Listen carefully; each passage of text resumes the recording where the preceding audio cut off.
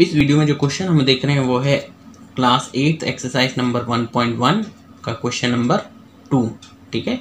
जो इस तरह से write the additive inverse of the following तो फ़र्स्ट है टू अपॉन एट किसी चीज़ का एडिटिव इनवर्स एडिटिव इनवर्स क्या होता है? अगर ए है या ए अपॉन बी है तो उसका एडिटिव इनवर्स होता है माइनस का ए अपॉन बी तो अगर हम इसको भी देखें तो इसका एडिटिव इनवर्स क्या होगा?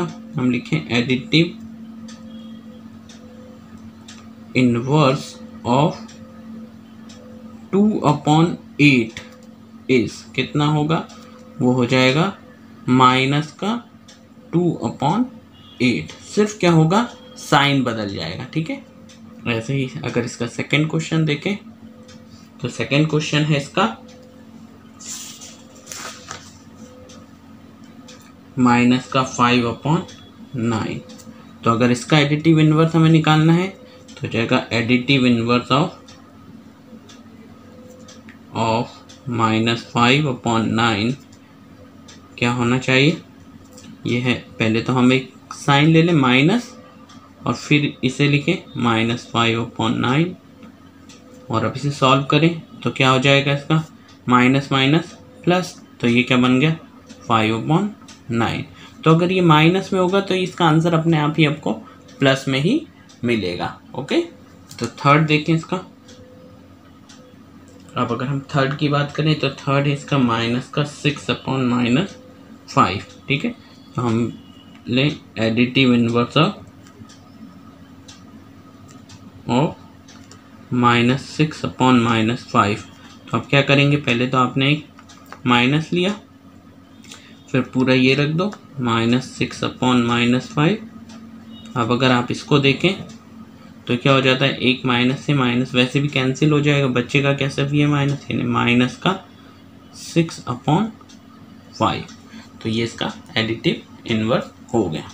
ओके अब इसका फोर्थ देखते हैं। फोर्थ जो है, वो है टू अपॉन माइनस नाइन फिर करें, क्या हो जाएगा? Additive inverse of of minus no two upon nine